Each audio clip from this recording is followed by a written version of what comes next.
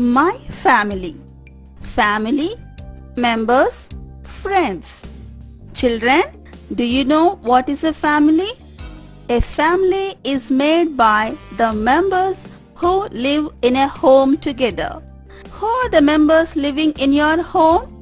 Grandfather, grandmother, father, mother, you and your sister or brother.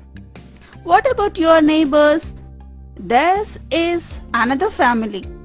Like that, you may have several families around you. Among them, some are small families having only one or two children. Some others are big families having more than three children. Look at the picture. It is a small family and it is a big family. Small family is a happy family because the members are less. So every person is facilitated with all needs such as good food, clothes, quality education, health and even able to save money. On the other hand, big family has to struggle for all these needs. The parents work for the family. Mother works all household works and father works to earn money. Hence, children also should be helpful to the parents in their works. At the same time, you should be friendly with your neighbors. You should respect the elder people in your home. You should help them for their needs.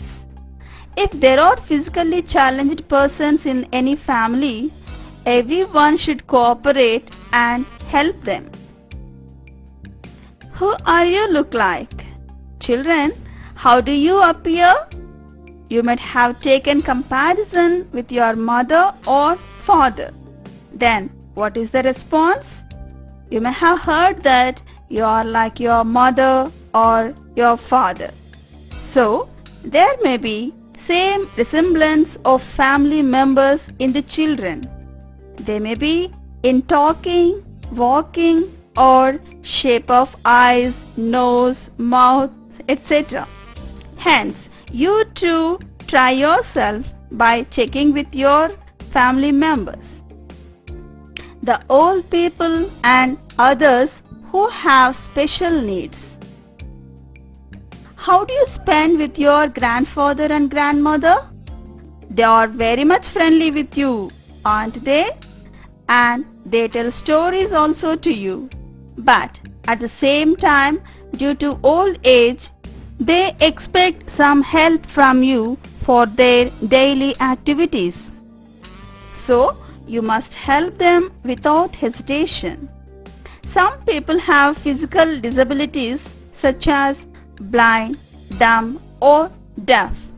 You must help them as they cannot get their needs fulfilled. You should not insult them.